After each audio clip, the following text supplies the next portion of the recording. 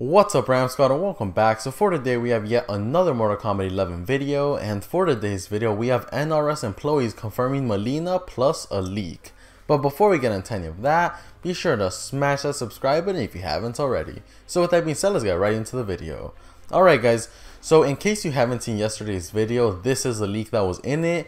And for today, we have NRS employees actually responding to that leak. Now, it's pretty rare to see NRS employees actually respond to a leak, so whenever it does happen, a lot of people assume that the leak is real. Now, I don't know if it is. I'm just I'm just covering what happened on Twitter, guys. This is pretty crazy. But anyways, aside from that, today is September 12, meaning that it's DC FanDome Part 2. Now, hopefully, let's keep our fingers crossed we got some type of reveal or even just a confirmation that we're getting another Kombat pack. And if we do, that's going to prove a lot of leaks either true or false. But anyways, with all that being said, let's get back to the video. So go ahead and check that out. Now, as you can see, this all started with a tweet of the leak. This person said, New Mortal Kombat 11 leak. Do you guys believe that Sareena's coming back? And someone named Danish Syed responded by saying yawn. Now, Danish Syed is an employee, I think he's a senior artist at NetherRealm Studios. And then Jandy, the guy under him, said Mileena Kamina. Obviously, he's just rhyming Mileena with coming. So that really says Mileena coming. Now, Jandy, I think he's a, a producer at NetherRealm Studios from what I remember seeing in his bio. So that's another NRS employee. And then this one, the guy in the bottom, is the last one. He said, I can't wait for this. Like, he actually said to, to the leak, I can't wait for this.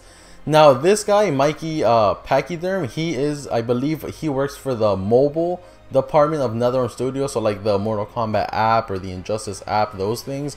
And yeah, he said, I can't wait for this basically saying like, oh yeah, this is happening. I just I can't wait for it. Now, just because he said that doesn't mean it's confirmed, guys. Even the guy saying Mileena Kamina, we don't. Just because he's saying that doesn't mean it's confirmed. But he's literally saying Mileena coming, and the other guy saying, oh yeah, I can't wait for this leak to to actually come to happen. So I don't know if he's just like like saying, oh, I I hope it's real or anything.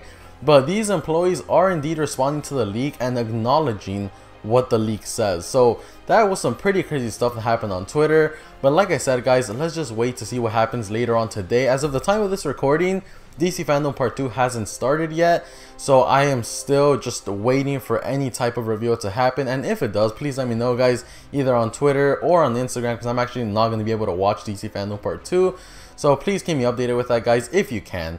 Anyways, aside from that, be sure to leave your thoughts and opinions in the comment section down below as always. Thank you for watching, be sure to stay subscribed for more videos just like this one, and peace.